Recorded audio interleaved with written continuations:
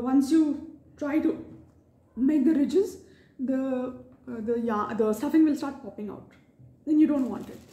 You don't want that to happen okay? So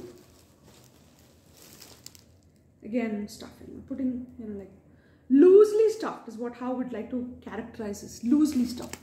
So that you know you're you're uh, if you push it too much or try to make too many ridges then it will become uh, very uh, obvious that you know your your uh, stuffing will start showing that it's this this is got white stuffing inside orange pumpkin something you know? It will become like a uh, it'll become visible your stuffing will become visible. So we put you know sufficient yarn inside it but not overstuffed it. Now we leave this this at the bottom we leave it like just like this. We'll show you how but this, this we will use at the time of making the ridges. But in the meantime we'll just show you. And uh, from for the top you just put another thread of yarn inside the needle and you have to close the mouth at the top you know. So just there are, there are various ways of making uh, you know pumpkin and uh, this is one of the ways that I thought looks far better than if I were to do bottom up amigurumi. You can always also make pumpkin you know uh, through bottom up method which uh, I can show you in another video that I do. This is that's just a different way of doing a pumpkin actually so um, this I thought was a little bit uh, better looking method because uh, these things, these these ridges, they naturally come out in this because of the, uh, you know, you made it like a, because it's like this. So these are naturally ridged sort of thing, you know, you just have to like uh, make sure that it's close enough.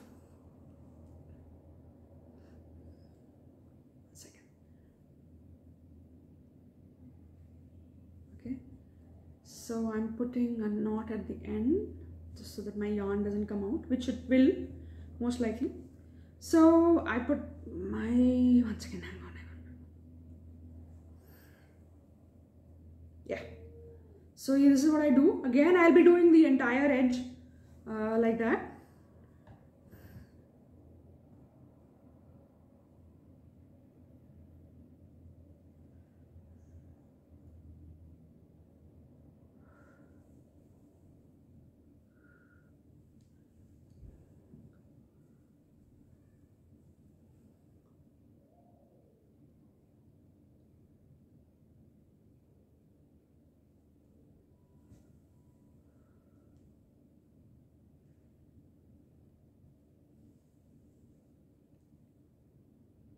as you can see the shape is already beginning to come out a little bit you know.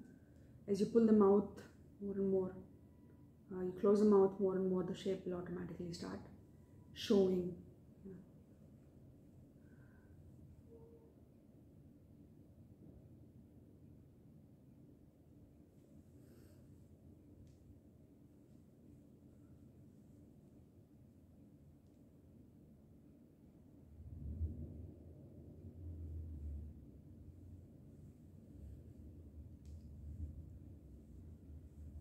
a little bit towards the end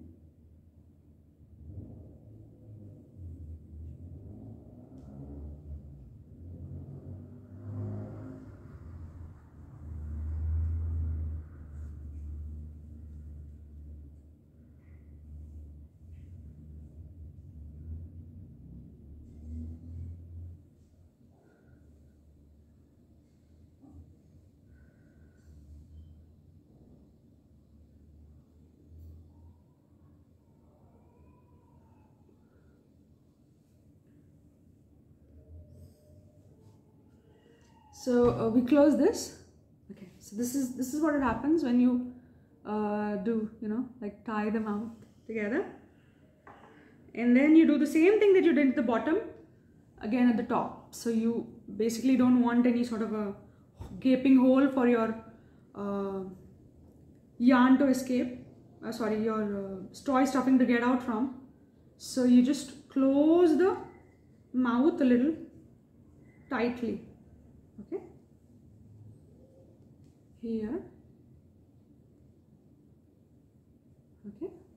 And as you can see the natural ridges forming. It's already looking like a pumpkin without even trying to you know. I just close the bottom and the front and it's already looking like a pumpkin you know. So that's why I did it like this instead of the other method. I will also show you how to make a pumpkin through the other method, but I thought this was more, uh, you know, convenient and uh, naturally pumpkin looking and way, way, way quicker than the other one.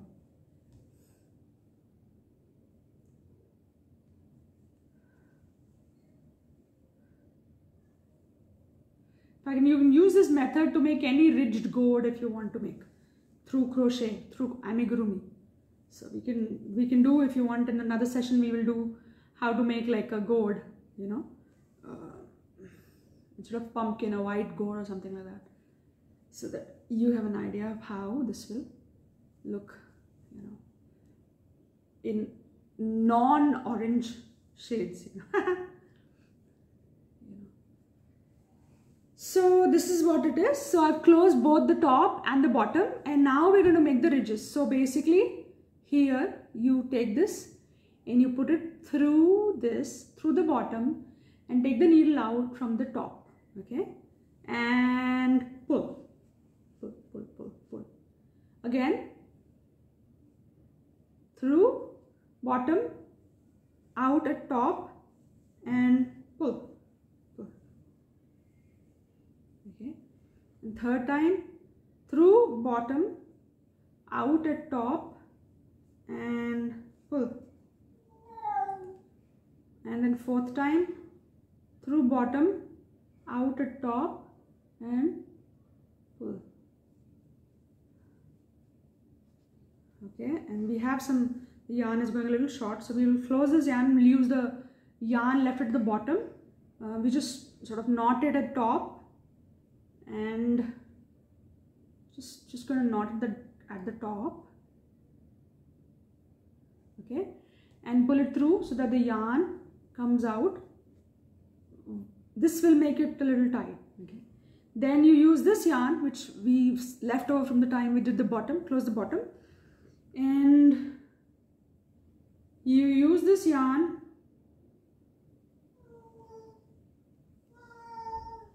And you make a couple of more ridges. Okay, so you put this in, you take out from the other side, put the needle in and you take it out from the other side, take the needle out from the other side. And you then shh. It's my cat he just wants fish and he's screaming for his fish. So cats have got helpers. I am his helper. And you take it out. And again in this side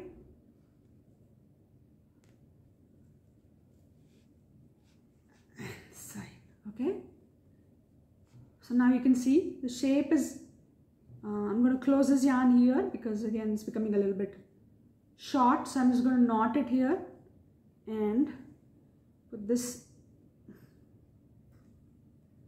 you know here.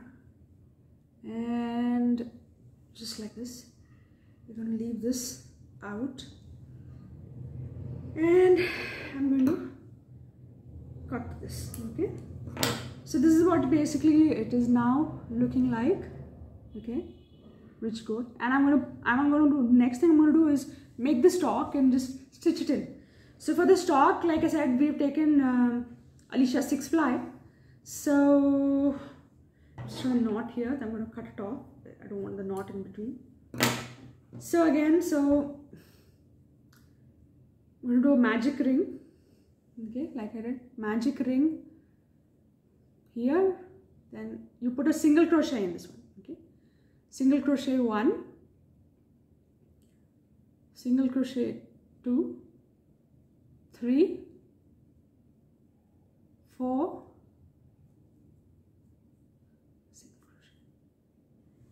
this is what it will be like. Five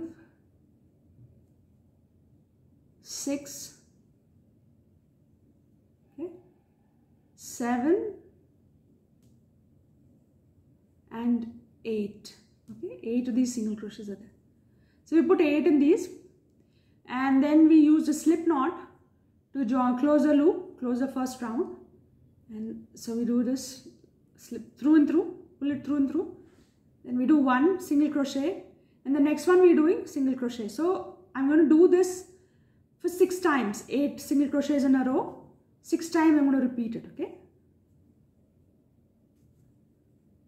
At least six times if not more. I'll just show you. Six times is what it will be there. And it'll at the end of it it'll look like a small little stalk actually.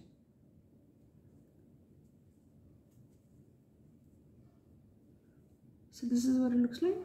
This is what it looks like. The bottom I mean the back side looks like. This is what the front, front side looks like.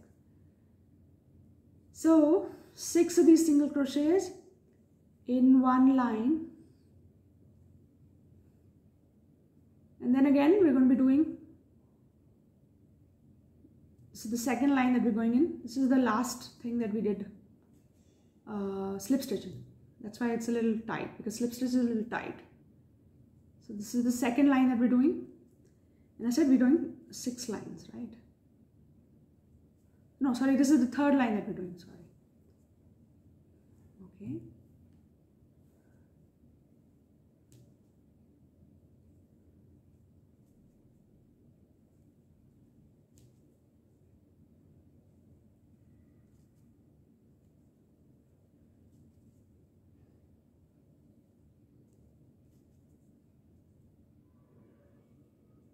and now the fourth line.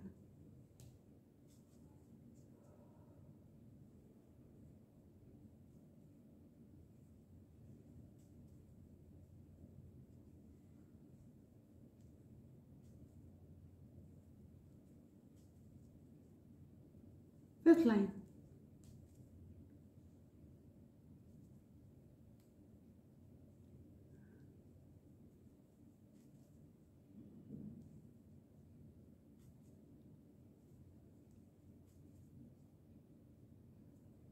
and the sixth line. Okay? So we have a small little stalk. Okay?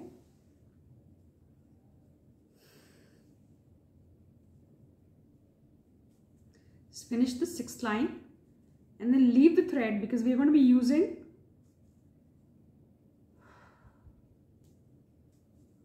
so sixth line is complete. Uh, we just do single chain and then leave the thread attached. We don't cut it off. Okay so we have a thread long thread attached.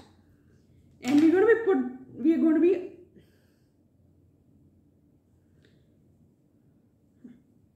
we're going to be attaching it like this. Okay so this now looks like exactly how pumpkin should look like you see? So use the needle again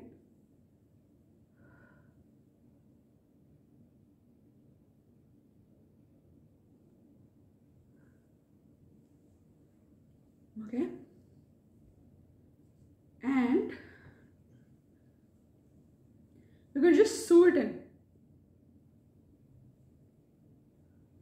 So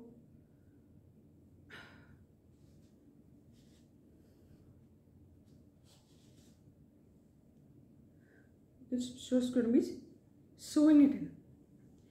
Just make sure that you don't have too many you know greens at the bottom visible at the bottom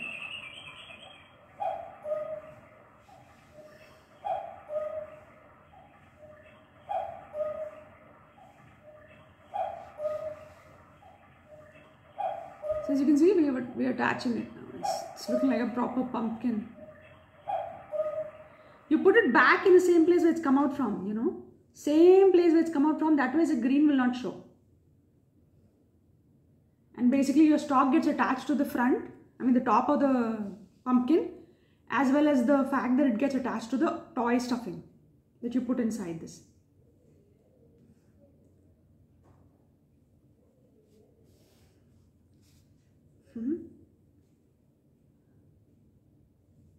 Here again, I'm going to put it, I'm going to be putting it back again in this. Okay. As you can see, we know we've used no uh, hard objects, no sharp objects with anything here. This is completely soft and soft enough and hypoallergenic enough for a baby to play with it. Okay.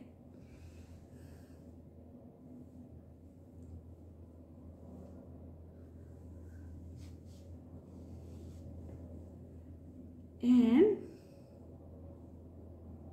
we are going to be just pulling it through and through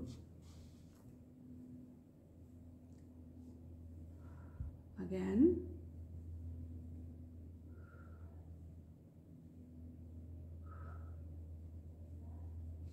through and through.